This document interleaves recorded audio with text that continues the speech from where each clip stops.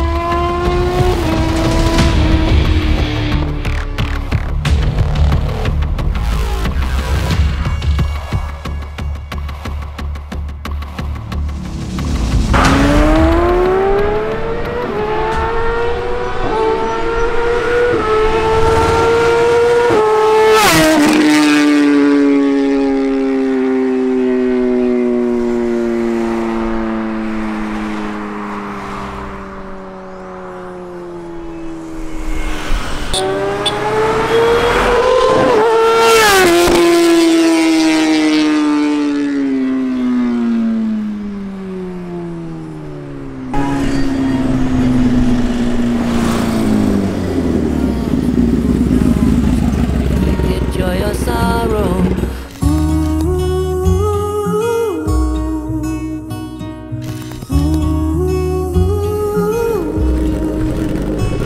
Stay true to that fire in your heart and your soul. Don't drench your desire desiring what you can't control.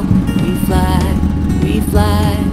Try so hard to get there, and we might.